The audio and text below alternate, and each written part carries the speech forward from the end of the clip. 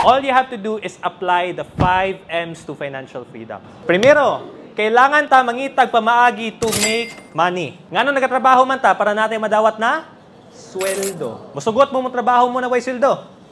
Dili. Gikan pagkabata nato, we understand the importance of making money. Anak, mag-aral ka ng mabuti para pagkatapos mong aral, may maganda kang trabaho. The moment you receive your salary, dapat kabalo ka unsaon pag manage. Ang financial management wala na siya ginatudlo sa eskwelahan. Kanus ama nato nakita ang importansya sa financial management katong nagtrabaho na ta. Dito nato na realize di suda de mutigo mong kwarta no. Katong panahon na gamay pa lang atong sweldo, kaya pa nato pagkasahan tanan.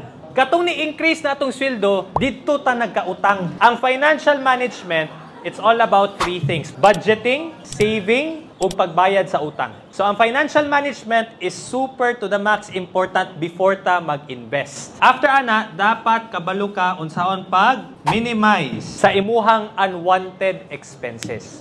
Mga gasto na dili nimo gusto mahitabo pero mahitabo siya. Example, ganahan ba di ay ka magkasakit? Dili, pero mahitabo ba?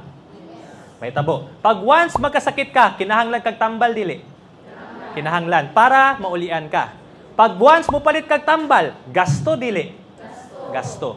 Mao nay pasabot sa minimize. Dili ka gusto na mahitabo na siya, pero pag mahitabo, at least andam ka. Dili pod masulod ang insurance. Ang kapait sa kadaganan kay ang ilahang sakyanan, ilahang motor insured. Ang tag-iya, dili insured. Sa ato pa, mas importante ang value sa imong motor kaysa sa imong kaugalingon insured na ka na na kay emergency fund, mo man about ang minimize, then naa na kay karapatan i-maximize ang imuhang kwarta. Diri masulod ang investment. Diri na ang kwarta ang mutrabaho para sa imuha. Instead na ikaw mutrabaho para sa kwarta. Mo na maka-retire ka, Dili kay moabot ang panahon na nakay anak, ang anak ang moatiman sa imuha. Tanan income sa imong anak ihatag sa imuha. Dili man na siya tama. Dili man retirement plan ang imong anak. Sir, ingon ka lima ka letter M. Upat lang lagi ni kabuok.